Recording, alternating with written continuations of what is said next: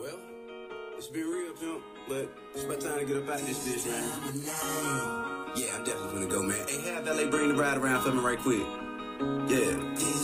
So where y'all gonna go? Man, I don't know. I might go get something to eat. Say what?